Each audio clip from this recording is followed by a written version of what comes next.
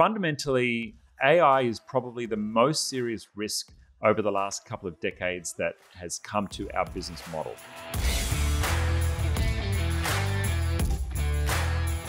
How are you thinking about AI for the IT Genius business and what it will mean for customers? Will you be using more AI in your service provision? Will you be teaching customers how to better use AI tools? I'll say fundamentally, AI is probably the most serious risk over the last couple of decades that has come to our business model. And it's not just because we're an IT services company, it's professional services delivery in general across the world. Anyone who's in the business of intellectual property, of consulting, of best practice, effectively just had all their best ideas outsourced or open sourced. And what I mean by that is if you were to go to GPT and ask it some strategic questions about Google Workspace, you're probably going to get pretty darn good answers. You're probably going to get answers on par with what I'm putting out here on the channel. And maybe there's a last mile, I'll call it a last mile, where the last 5% of best practice, intellectual property, the IT genius way of doing things is maybe like better by 5% than what you'll get from GPT. But to be honest, it's not going to be that much difference. And that gap is going to get smaller and smaller and smaller and smaller until our value of our intellectual property is pretty much going to go to zero. Now, am I worried about that? Not particularly. We put all of our intellectual property out on the internet, we share it freely on YouTube, and we try as much as possible to help and give everyone the answers to the questions that they have. Because we know that part of the value of our business is actually being the person who presses the button. Anyone can read the instruction manual, but not everyone wants to be the person who presses the button. And that's pretty fundamental to our business. We are in the game of time arbitrage. And so we've built an amazingly talented pool of skills and resources.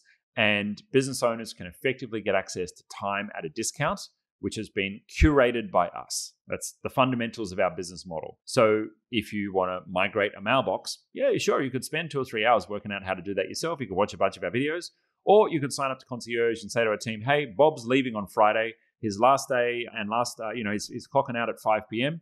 Can you archive his mailbox and get it done for me? And our team will just get that done. They'll archive the mailbox, they'll change the password, they'll disable the account, they'll save the emails, and then you free up a license for your account from next week.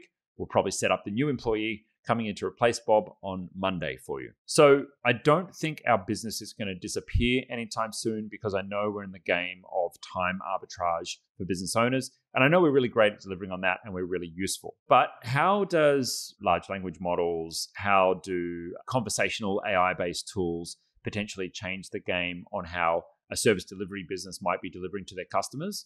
Well, I'd love to have AI based chat so you can get access to our intellectual property faster. So it's not always a human that has to be driving it. And I would always want it to be hybrid. So there's the human touch behind it. Because if you just want to talk to a robot, go to GPT or go to Gemini, right? But our business is really about, you know, the person there ready to hold your hand pressing the button. So we'd always want to do it hybrid with humans. Would we use AI in the service delivery of writing emails for customers?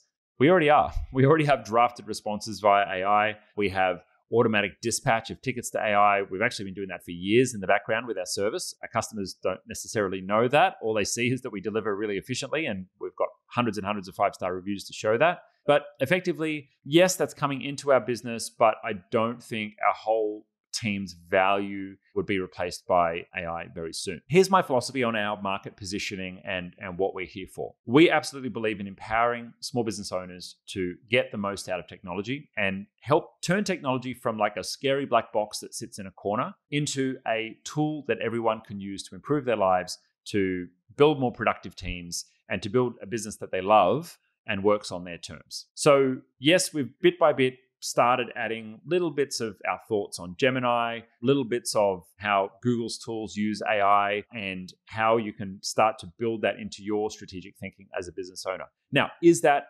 necessarily our niche? Not really. It's adjacent to our niche.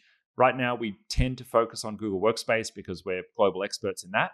But there are a number of adjacent topics that sit around Google Workspace, which we delve into from time to time. It might be setting up your CRM system. It might be setting up a great help desk. It might be how do you get data and analytics and your reporting and your KPIs right? It might be how do you set up and deliver projects in something like a Asana task management tool. AI I see as one of those adjacent products, which is okay, large language models, chatbots, tools that can have both business owners and teams empowered to do more? Yes, that's within our scope. Would we connect a Zap into your GPT account and run a query for you and then connect that into Google Chat? Hell yeah, we'll do that for you. So, as much as possible to broadly support small business owners with technology to help them support their business. So, I would say keep asking your questions. Give me specific questions in our Q&A, ask.itgenius.com, and let me know what your questions are about AI tools. I can cover pretty much anything in the small business tech world, and I'd love to help you with those. If you need more help with what we've covered in this video, IT Genius provides support services to businesses all over the world with problems just like this click the link below to get started.